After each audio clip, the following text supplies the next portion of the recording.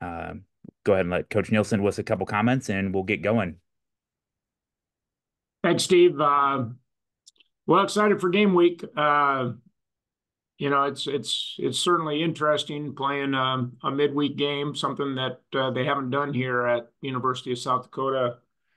Uh, had a chance to experience a lot of these. It it uh, uh, is a is a different schedule for sure. At the same time, you know, preseason uh, this year has has been good. Um, today we started classes, so um, uh, we had a, a, a, little longer what I'd call preseason camp than what we've we've had in the past, and taken advantage of that time uh, uh, with uh, uh, with our guys not having to to split their focus between football and and academics. So um, yeah, the uh, um, the the season, I guess, uh, kind of off to an official start, and uh, we're we're definitely excited to get going.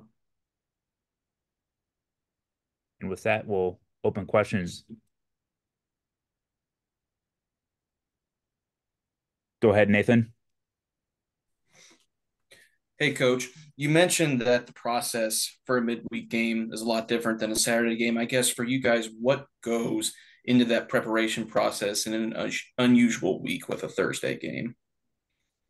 Uh, yeah, so we have a you know a weekly routine. You know, at uh, uh, what normally is a Tuesday, Wednesday, Thursday, Friday routine, and and actually we started that routine on Sunday um, to to get kind of on that same practice sequence um, uh, as we would in a normal week. Um, the fact that we didn't uh, have class last week allowed us to kind of set that up uh, to to be able to to do that. Um, but uh, it is going to be different. You know, you you um, I think what really makes it different is the the fact that we start classes today and play on Thursday. You know, last few years you've always had like a week to get your guys into uh, the flow of class and football um, because we haven't played until the the second weekend of class. So that's probably more of an adjustment for our guys than it is for us as as coaches, honestly. With fall camp over, would you say that you guys accomplished what you wanted to see through the preseason and coming into this first game week? Well, it's funny because uh, y'all, you know, with with the amount of camp that we had, uh, I think as we went through camp, we were feeling like, you know, we're ahead, we're ahead, ahead of where we want to be, and then you get to this week, and it's always like, geez, you know, I'm, we we we still need to do this, we still need to do that. Um, but you know, overall, uh, one of the the keys for us in camp was to make sure that uh, some of the the newer players that we have that are going to be stepping into starting roles uh, get the, the kind of experience they need to be able to to go out on Thursday and perform at a high level. Uh, feel like we were able to accomplish that. Um, um, and uh, um, you know, from a schematic standpoint, um, you know, the fact that we're a second year in an offensive system, um, you know, we were able to build on on some of the things that uh, we did a year ago uh, on that side of the football. And, and so I feel good about what we were able to accomplish um, in camp. And we did that while staying uh, reasonably healthy, which is always important as well. What do you want to see out of this first game on Thursday?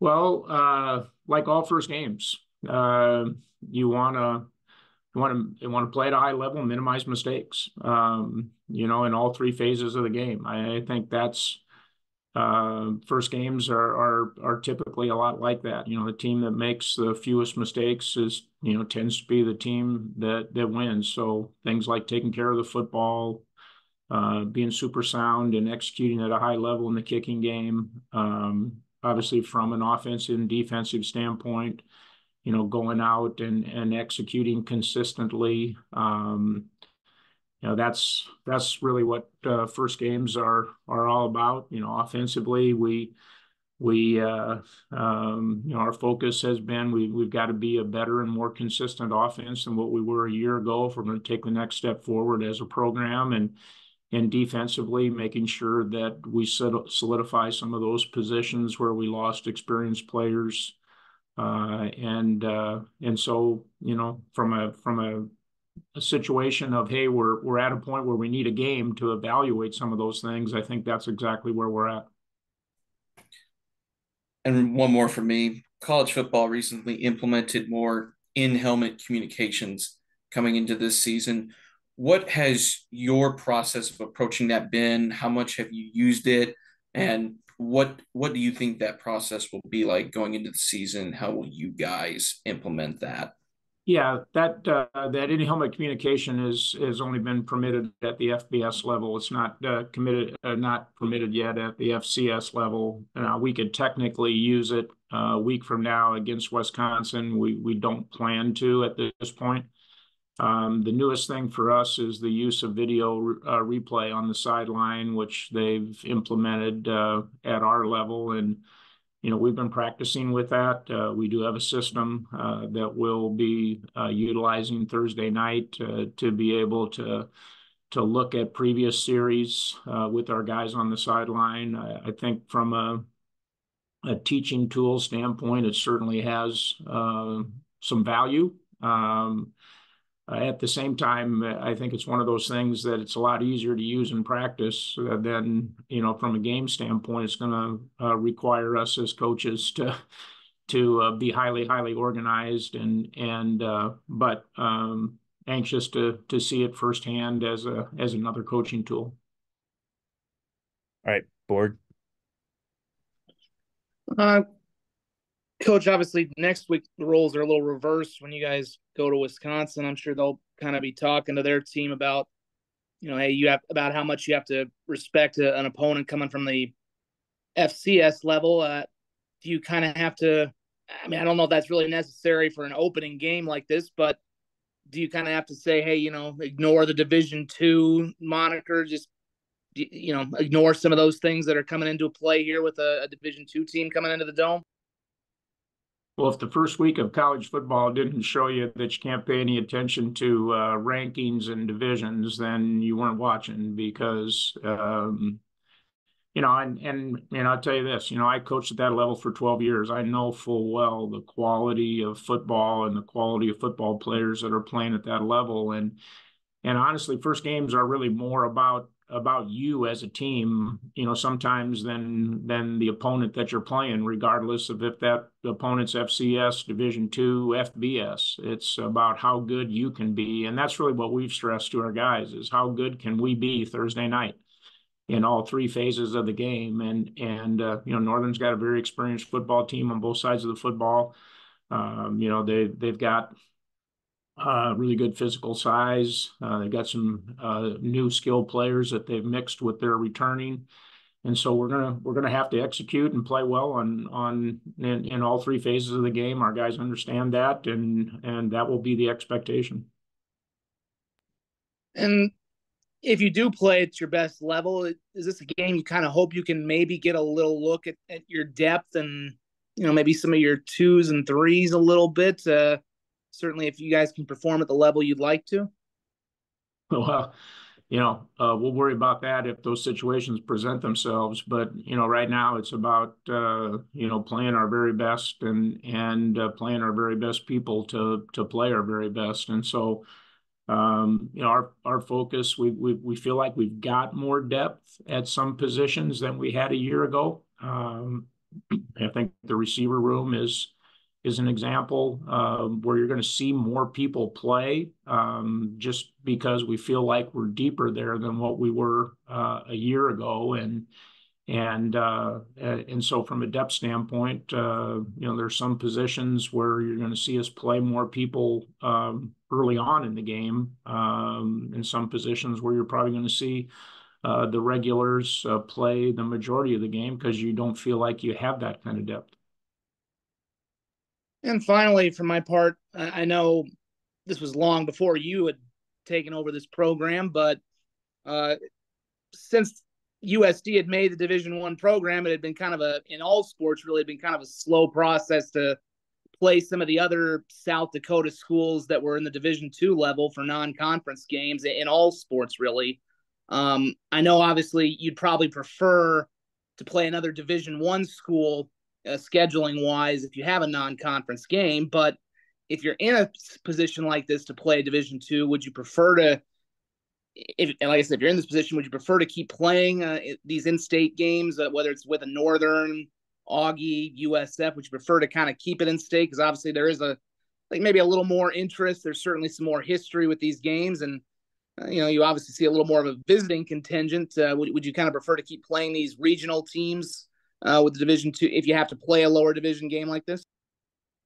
Well, I, think from an institutional decision standpoint, as we looked, you know, with this being a 12 game year and uh, we needed another uh, home game to to balance the schedule and and it was really kind of late in the process as we were investigating some you know division one possibilities that division two even passed new legislation that allowed this to to be a possibility to to have division two teams play on this weekend. And so when that happened immediately, you know, our approach was to uh, to look at you know in-state teams and and uh, the possibility of of uh, in-state matchup rather than we had calls from all over the country from Division two teams that were interested in potentially playing uh, on that opening weekend, um, knowing that we were uh, looking for a game. And and so you know, I think that uh, standpoint from a fan interest standpoint, sure, when you play uh, in-state uh, teams, it's it's going to generate um, you know greater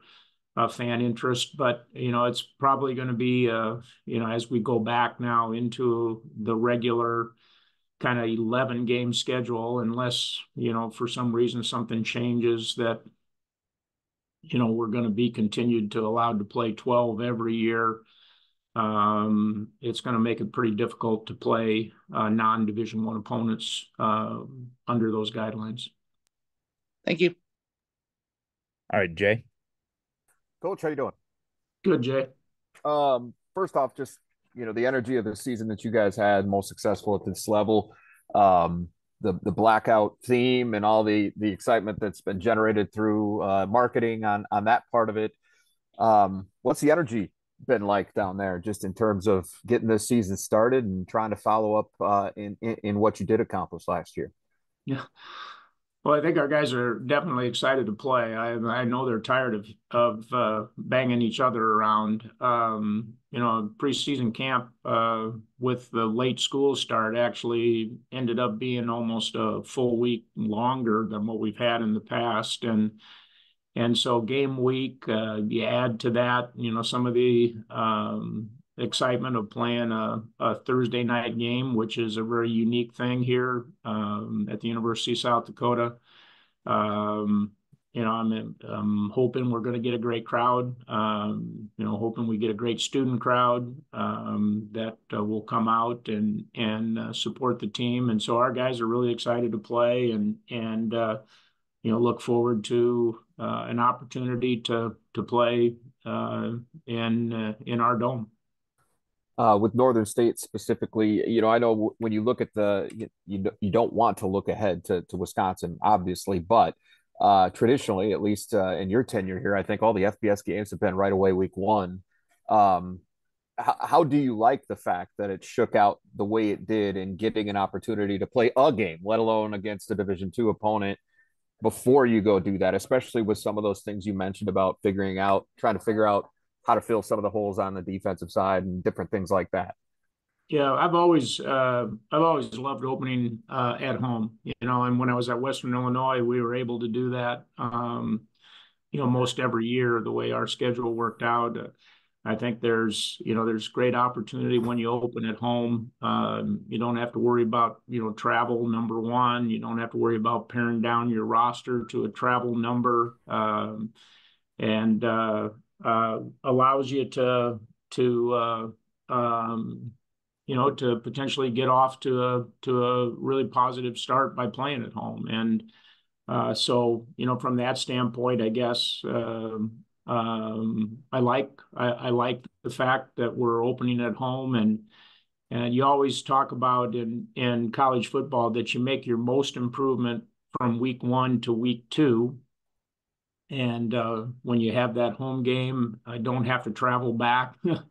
you know, after uh, after a road game week one, it gives you just a little bit more time uh, as a football team to to uh, be that much better uh, the following week. When it comes to the Wolves specifically, uh, and, and, being familiar with the NSIC like you are, and the brand of football that's often played in that league, what are some of the concerns that do come to mind when you look at this this team that Mike Schmidt's going to bring to Vermillion? Yeah, uh, you know, um, uh, you know, I think uh, as I said, you know, I'm a coach in that league for ten years. Was a part of a couple of national championship teams. Uh, understand that there's uh, lots of players that are on their roster that could well be on our roster and and uh, able to to to be high level players at any level of college football. And so, um, you know, we're going to have to go out and and and um, play high level football offensively, defensively. Um, you know, they're experienced on both sides of the football. Um, they got experience at all three levels uh, defensively. Got a lot of experience up front uh, offensively. Uh, they got some newer players at their skill positions that uh, I think they feel really good about. And so, uh, offensively, um, you know, they're, you're, you're going to have to defend the field because they're going to throw it, they're going to run it. Um, defensively, they'll play very aggressive style. Um, that's going to make you earn every yard that you get, and and obviously early games, as I said, about mistakes and and being really good in the kicking game, and so. Um, you know, our guys, um, you know, our guys are are are focused on on what we have to do, and that's play our best football of the year Thursday night. You feel like um, obviously the target's a little bit bigger uh, to start when you've had the season that you've had and and are thought of the way you are nationally right now coming into the year and and obviously with Northern State they're coming in with a mindset you know great game great opportunity for them to to play against not only a, a good football team but one of one of the best in the division above them so uh, have you guys discussed that that mentality all, of all and just knowing that you are going to get everybody's best shot just because of who you are and what what your jerseys say now. Yeah, I, I think that's one thing about football. You know, football is a really unique game. You got to prove you got to prove it every week. Um, and uh, you know, preseason rankings or preseason rankings they they mean nothing uh, because you haven't proven anything yet. And so um, we're going to have to uh, prove that we're a good football team Thursday night um, by playing hard, by executing at a high level, um, and that's uh, that's really uh, um, the goal that our program has every week. You know, to be the very best football team that we're capable of being uh, every week, um, and uh, um, that starts uh, Thursday night for us last one from me, just uh, from a personnel standpoint. Obviously, as you look over this roster, there's and it's a great problem for you to have. There's a lot of lot of names that you got used to saying a whole bunch last year. Guys like me got used to saying a whole bunch last year. Uh, but who are the new ones that your fans um, and, and, the rest of the country are gonna gonna be taking note of quickly?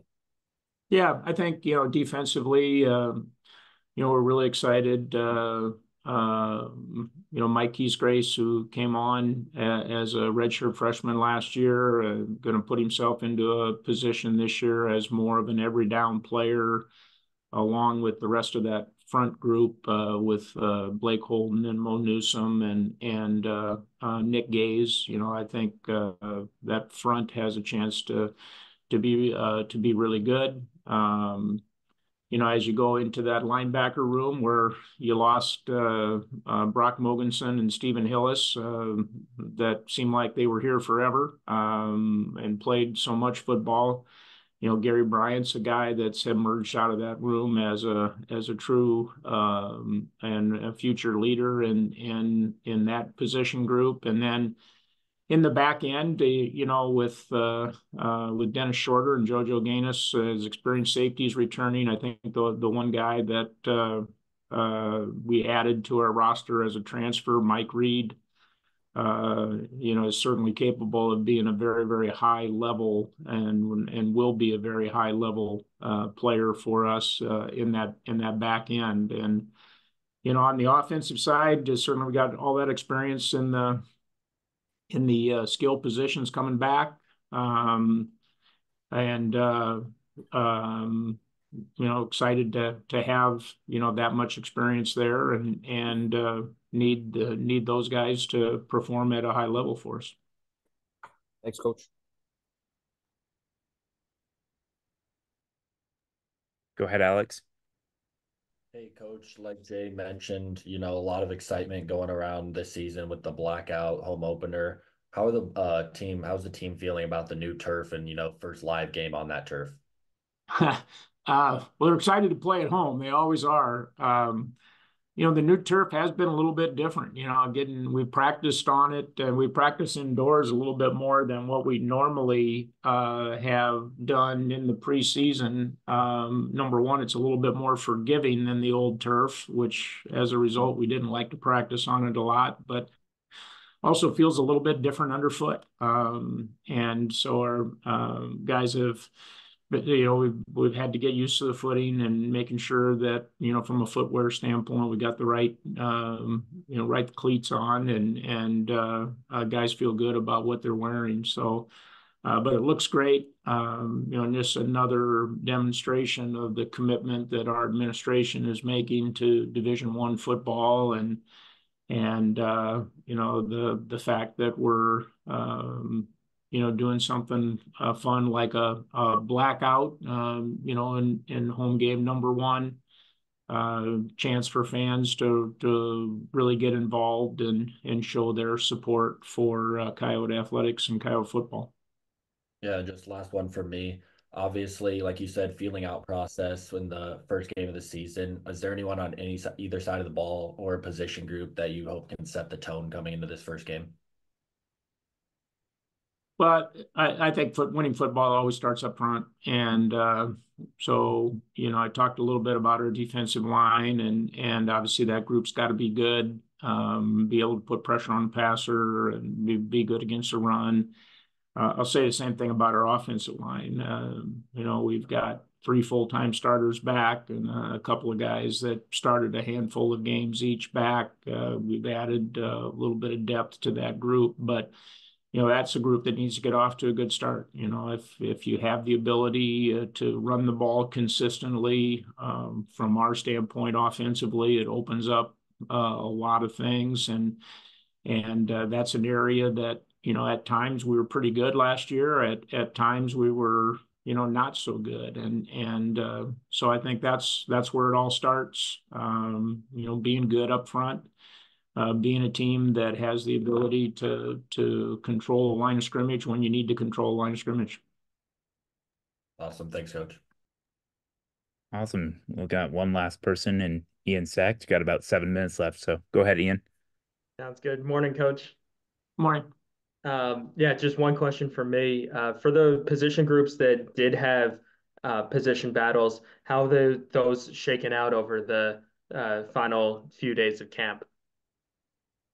Well, probably the the biggest uh, position group battle. Um, you know that linebacker group. I, I mentioned Gary Bryant. Uh, other guys you're going to see play in that position group. You're going to see Nate Ewell, uh, who's a transfer from uh, from from Grandview. Uh, you're going to see Gabe Hardman um, in in that position uh, group as well, playing um, on Thursday night. Um, you know, so um, you know, otherwise, uh, you know, I, I, do feel like you know we've got some additional depth in the secondary, and so you're going to see some some guys there. A guy by the name of Roman Tillman, who uh, has really really come on uh, as a redshirt freshman, is going to play a lot uh, in the secondary um, on uh, on Thursday night. Um, offensively, I, I, talk about increased depth at wide receiver. Uh, new face that you're going to see a fair amount is uh, Karan Adams, um, transferred from Iowa State, to go along with uh, the the Bells and the Martins and the uh, Javion Phelps and Tristan Michaud, uh, all who uh, um, you know played. Uh, a, a fair amount uh, last year. Um, so um, you know, I think tho- those uh, those positions um, are probably the ones where you know we may have had the, the biggest battles, whether it was for a starting position or who was going to be the next guy, uh, the next guy in, so to speak, after after the starters. Awesome. And if that's all the questions, we'll go ahead and wrap it up a few minutes early. Thanks, everyone. We will get this recorded and posted as, as soon as we can. Thank you all. Appreciate it, guys. Thanks.